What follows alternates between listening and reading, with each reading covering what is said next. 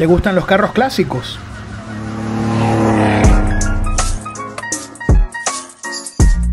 Soy Michelle Rodríguez, el barbudo Mitch, un enamorado del automóvil y de su historia.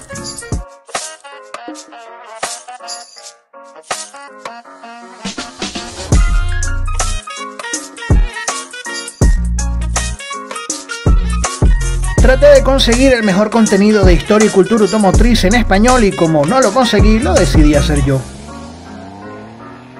Mafra Cosmetics for Your Car presenta. Esta camioneta está en una muy alta estima en Brasil porque recuerda a otros tiempos. A unos les recuerdan tiempos de dictadura, pero a muchos, más allá del tema político, les recuerda a una industria automotriz nacional con diseños y creaciones propias.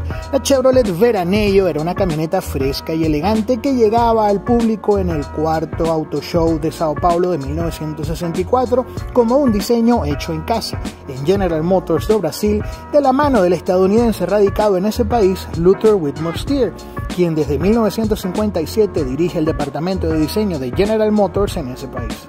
La camioneta está basada en la línea de la Chevrolet C14. De hecho, su nombre completo inicialmente era Chevrolet C1416. Su diseño se caracteriza por ser menos tosco y rústico que el de su antecesora, la Chevrolet Amazona, también de diseño brasilero. Este Chevy era de techo más bajo y con una menor distancia del piso del vehículo al suelo.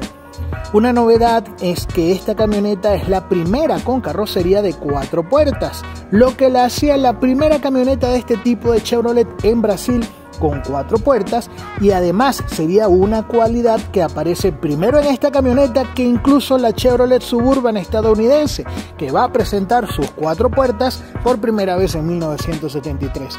Entre la baja altura y las cuatro puertas era evidente que la principal característica de esta camioneta era la comodidad, lo que la alejaba mucho más de su única competidora en Brasil, la Willys Rural.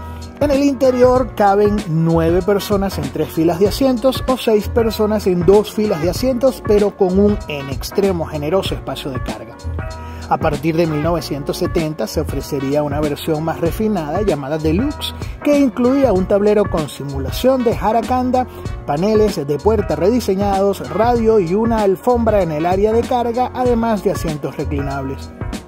En el exterior se ofrecían opciones de colores metalizados y hasta un techo de vinil, lo que la hacía la única camioneta en el mundo con este accesorio de fábrica. Esta camioneta, que pasa a llamarse Veranello en 1969, utilizaba un motor de 6 cilindros de 4.3 litros y 142 caballos de fuerza. Sin embargo, a lo largo de la evolución de la primera generación de esta camioneta, que se fabrica hasta 1989, habrían motores de 6 y 4 cilindros alimentados con etanol. A estos motores se acoplaba una caja manual de 3 velocidades con la que la camioneta podía alcanzar los 140 km por hora. Una segunda generación se fabricaría entre 1989 y 1994, pero ese es tema para otro video. Lo cierto es que esta Veranello marcó sin duda una época dorada en la industria automotriz brasilera, que mientras existió bajo gobiernos con políticas proteccionistas, floreció para crear automóviles como este. Junto al Chevrolet Opala, la Chevrolet Veranello es uno de los vehículos más icónicos de General Motors do Brasil, a tal punto de que ya forma parte de muchas colecciones privadas fuera de las fronteras cariocas.